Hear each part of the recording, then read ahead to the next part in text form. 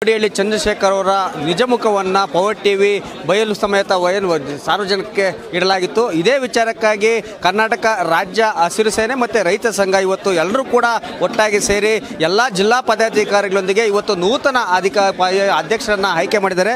ನೂತನ ಅಧ್ಯಕ್ಷರಾದಂಥ ಬಸವರಾಜಪ್ಪ ಅವರು ನಮ್ಮ ಜೊತೆ ಇದ್ದರೆ. ಬನ್ನಿ ಅವರಿಗೆ ಮೊದಲನೇದಾಗಿ ಸ್ವಾಗತವನ್ನು ಕೇಳುತ್ತಾ, ಅವರ ಮುಂದಿನ ಗುರಿಗಳೇನಿದೆ ಮತ್ತು ರೈತರಿಗೆ ಯಾವ ರೀತಿಯಾಗಿ ಬೆನ್ನೆಲುಬಾಗಿ ನಿಲ್ತಾರೆ ಅಂತ ಹೇಳ್ಬಿಟ್ಟು ಕೇಳೋಣ. ಸರ್, ಮೊದಲನೇದಾಗಿ ಪವರ್ ಟಿವಿ ಕಡೆಯಿಂದ ತಮಗೆ ಅಧ್ಯಕ್ಷರ ಸ್ಥಾನಕ್ಕೆ ಸ್ವಾಗತವನ್ನು ಕೋರ್ತಾ ತಮ್ಮ ಉದ್ದೇಶ ಮತ್ತು ತಾವು ರೈತರಿಗೆ ಯಾವ ರೀತಿಯಾಗಿ ಬೆನ್ನೆಲುಬಾಗಿರ್ತೀರ ಅದನ್ನು ಹೇಳೋಕೆ ಇಷ್ಟಪಡ್ತೀರಾ?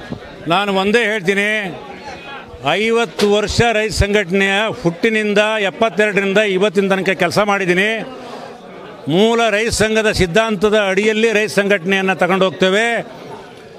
ಪ್ರಾಮಾಣಿಕವಾದಂಥ ಸಂಘಟನೆಯನ್ನು ಕಟ್ತೇವೆ. ರೈತರಿಗೆ ನ್ಯಾಯ ಒದಿಸ್ತಕ್ಕಂಥ ಕೆಲಸವನ್ನು ಮಾಡ್ತೇವೆ. ಯಾವುದೇ ಕಾರಣಕ್ಕೂ ಕೂಡ ಭ್ರಷ್ಟಾಚಾರಕ್ಕೆ ಅವಕಾಶ ಇಲ್ಲದಂಗೆ ಮತ್ತು ಯಾವುದೇ ಸಂಘಟನೆ ಏನು ಹೊರಗೆ ಹೋಗಿದ್ದಾವೆ, ಎಲ್ಲ ಸಂಘಟನೆಯವರ ಜೊತೆಗೂಡಿ ಎಚ್ ಎಸ್ ಉದ್ದಪ್ಪನವರು ಎಂ ಡಿ ನಂಜುಂಡಸ್ವಾಮಿಯವರು, ಸುಂದರೇಶ್ ಅವರು ಏನು ಒಂದು ರೈತ ಚಳವಳಿಯನ್ನು ಕಟ್ಟಿದ್ರು, ಆ ಪುನಃ ಆ ಚಳವಳಿಯನ್ನು ಕಟ್ಟೋ ದಿಕ್ಕಿನಲ್ಲಿ ಕೆಲಸ ಮಾಡ್ತೇನೆ ಅಂತಕ್ಕಂಥ ಮಾತನ್ನು ನಿಮ್ಮ ಟಿ ವಿಯ ಮುಖಾಂತರ ಭರವಸೆಯನ್ನು ಕೊಡ್ತೇನೆ. ಕರ್ನಾಟಕ ರಾಜ್ಯ ರೈತ ಸಂಘ ಮತ್ತು ಹಸಿರು ಸೇನೆಯಿಂದ. ಇವತ್ತು ಕೋಡಿಹಳ್ಳಿ ಚಂದ್ರಶೇಖರ್ ಅವ್ರನ್ನ ವಜಾ ಮಾಡಲಾಗಿದೆ ಒಕ್ಕರಲಿಂದ.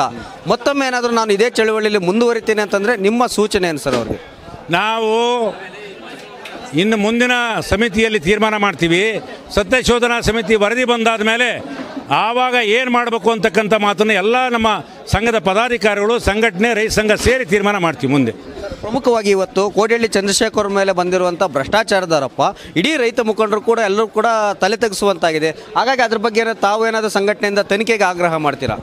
ನಾವು ಆಗಲೇ ಹೇಳಿದ್ದೀವಿ ಸರ್ಕಾರ ಏನು ಕೊಡಿಯಳ್ಳಿ ಚಂದ್ರಶೇಖರ್ ಅವರು ತನಿಖೆಗೆ ಒಂದು ಮನವಿ ಕೊಟ್ಟಿದ್ದಾರೆ ಅದೇ ತನಿಖೆಯನ್ನು ಮನವಿಯನ್ನು ತಗೊಂಡು ರಾಜ್ಯ ಸರ್ಕಾರ ತನಿಖೆ ಮಾಡಬೇಕು ತತ್ಕ್ಷಣದಿಂದ ತನಿಖೆ ಮಾಡಿ ಸತ್ಯಾಸತ್ಯತೆಯನ್ನು ಬಯಲಿಗೆಳಬೇಕು ಅಂತಕ್ಕಂಥ ಒತ್ತಾಯವನ್ನು ಕೂಡ ನಾವು ಮಾಡ್ತಾ ಇದ್ದೀವಿ.